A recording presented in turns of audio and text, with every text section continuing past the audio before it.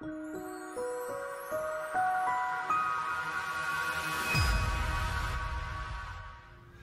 everybody, this week I'm in Eddie Ingram's office, our pastoral counselor. We are so glad that Eddie is a part of what we do as a church.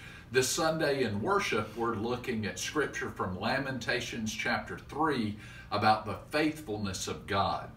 One of the things we believe in as a church, and Eddie helps us understand, is that God's faithfulness exp- extends to our mental well being, our physical well being, our spiritual well being, everything, right? Yes, absolutely. Amen. All right. Hey, see you Sunday. Read Lamentations. Come see Eddie if you ever have a need. The number to get him is 704 685 2505. There you go. Y'all the people. Peace out. Bye.